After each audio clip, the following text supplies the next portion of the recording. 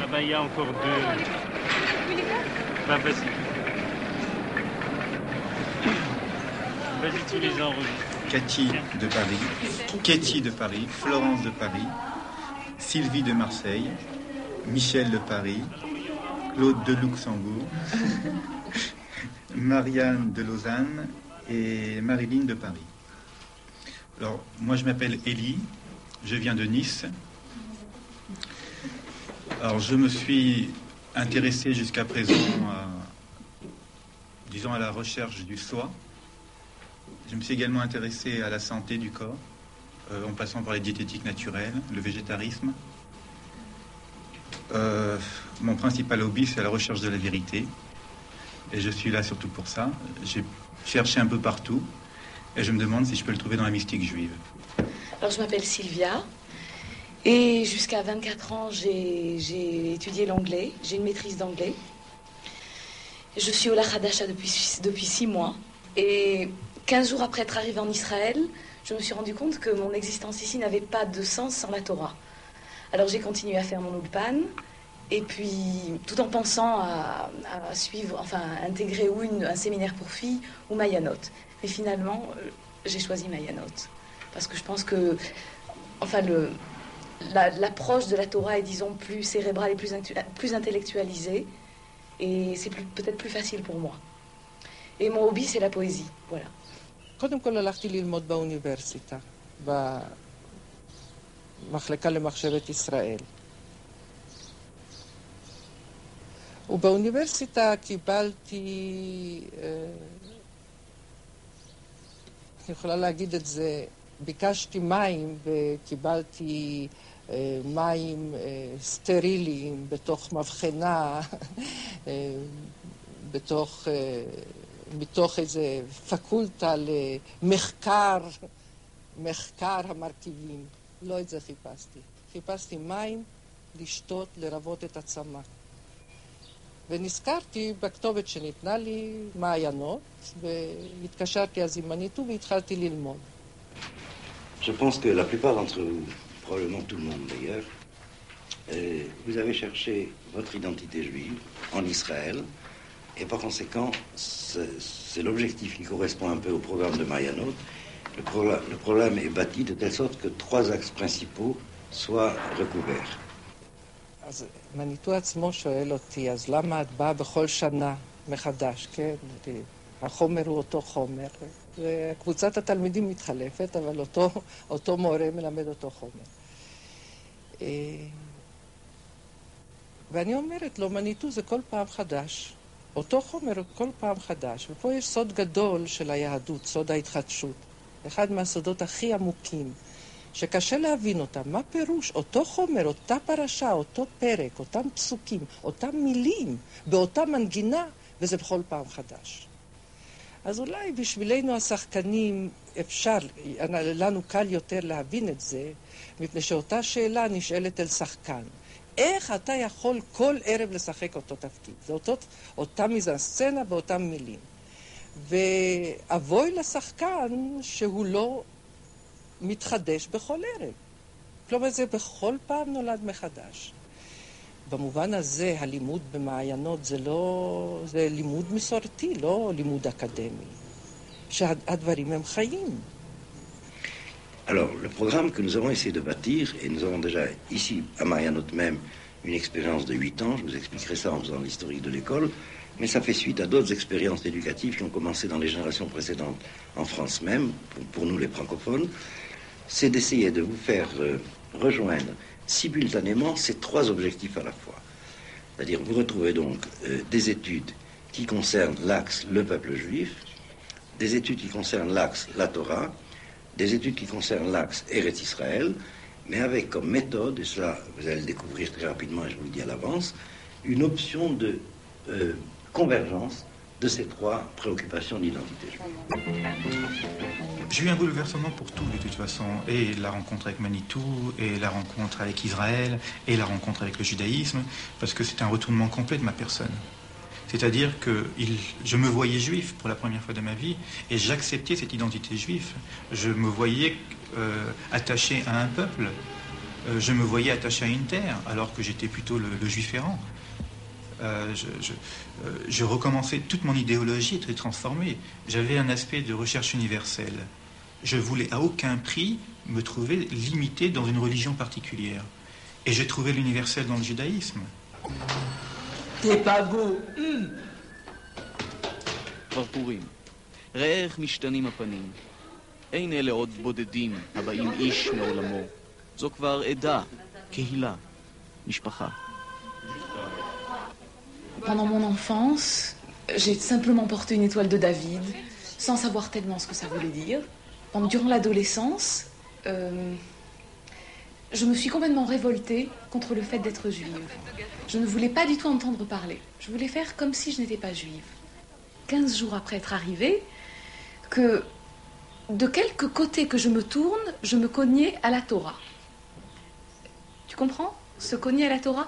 Et pourtant, enfin, aucune, aucune, aucune euh, éducation religieuse, entre guillemets. La date, je savais absolument pas ce que c'était. Et 15 jours après être arrivée, je me suis dit que sans la Torah, ma présence ici n'était pas légitimée. Alors je me suis dit, bon, ben, il faut commencer un petit peu à aller dans ce sens, à voir un petit peu ce que cette Torah dit. בכל תקופת הגלות, פחות או יותר, כל היהודים היו בעלי זהות כפולה, או יותר מכפולה. היינו בכל מדינה ומדינה, היינו במשך אלפיים שנה יהודי מישהו אחר. ועכשיו שכל היהודים של כל העולם כולו חוזרים לציון, חוזרים לישראל, אז מתחיל להתפתח, זהות עברית בסיסית, החלק העברי שהיה ביהודי מישהו אחר. ואף אחד לא יודע איך זה יתפתח. אבל אני חושב שלמחנה המשותף של כל, ה... של כל הישראלים שמרגישים וחיים את הזהות שלהם בהיסטוריה הקשה שלנו, של תקופת המעבר בין סוף הגלות ולאחרית הימים, חיים את זה ביחד. אלוהים לכולם המוציא לכם מן הארץ. אמן.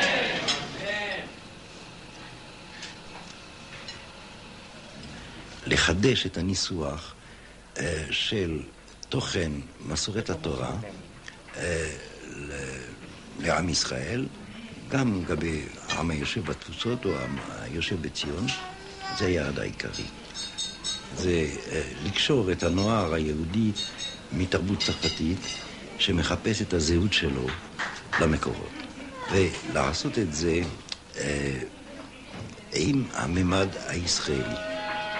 ולכן אה, מוטב שבית ספר שכזה יהיה בירושלים ולא בצרפת עצמה. Être juif pour moi, bon bah déjà c'est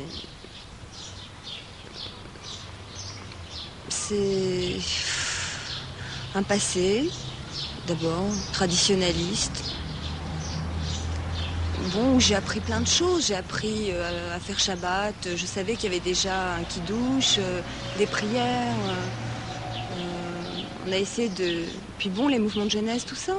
Et puis bon, puis après j'étais complètement séparée de tout ça et j'avais rejeté tout ce judaïsme parce que j'en avais marre, je comprenais rien. bon, et puis Maintenant, maintenant j'ai essayé de recoller avec tout ça, essayer de comprendre, essayer de savoir pourquoi euh, j'étais juive, euh, pourquoi dans la rue je me sentais mal quand je voyais mort aux juifs ou quelque chose comme ça. Et puis bon, et puis j'ai voulu en savoir plus, et puis maintenant, ça prend une grande partie de moi. Je veux dire, je peux pas renier.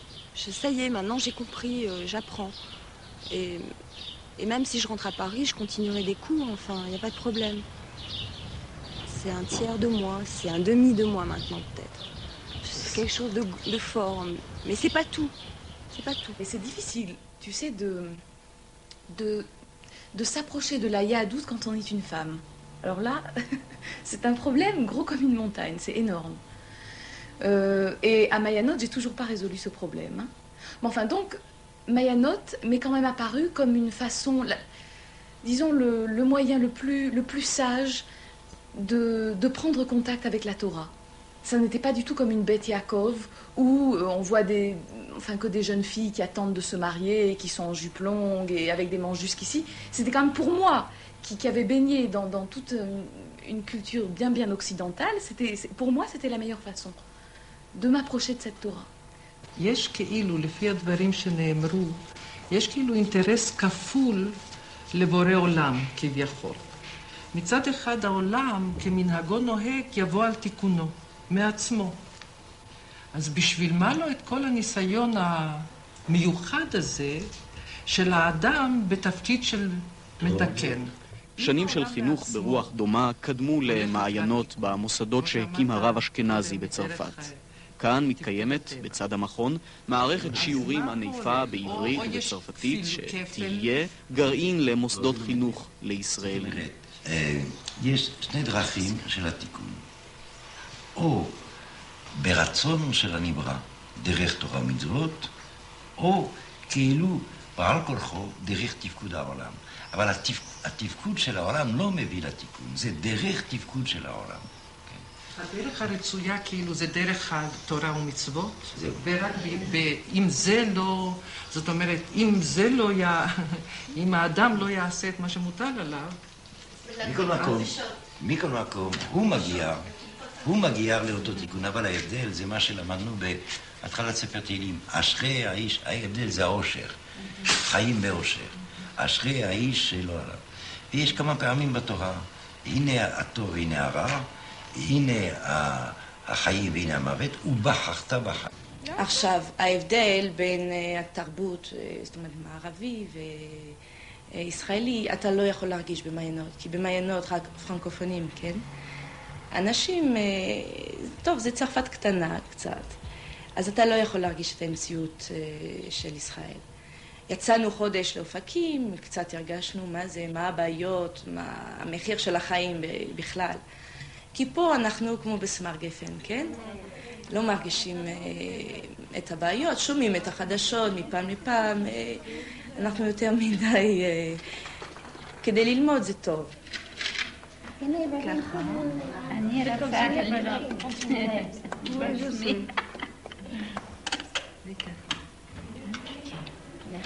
Bon, moi, c'est Martine, je viens de Bordeaux. J'ai étudié pendant deux ans dans un IUT, euh, je fais de l'informatique de gestion. J'ai travaillé ensuite. Bon, et puis mon travail ne m'a pas rapporté tout ce que je pensais. Alors j'ai voulu arrêter un peu et puis faire le point de ma vie. Et euh, en plus de ça, je voulais avoir des bases de judaïsme, c'est-à-dire euh, savoir pourquoi je, faisais comme ça et pas comme ça. Enfin bref, je crois que Mayanot avait toutes les qualités pour, que, pour cela. Bon, mon hobby, j'aime bien chanter un petit peu. Ah.